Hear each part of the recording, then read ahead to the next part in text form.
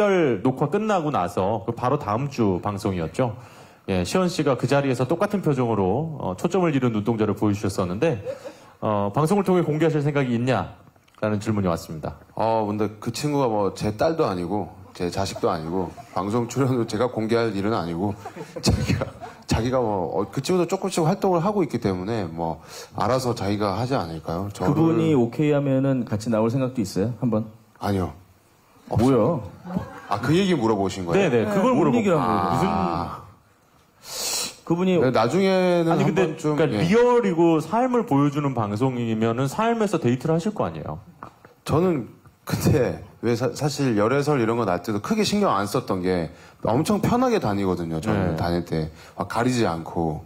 근데 그렇게 되면 다니기 불편해질 것 같아서 음. 생각을 좀 해봐야 될 것 같습니다. 오직 이유는 다니기 불편할까봐. 뭐 아니 오히려 이렇게 솔직한 답변이 낫습니다. 네네네. 예 예.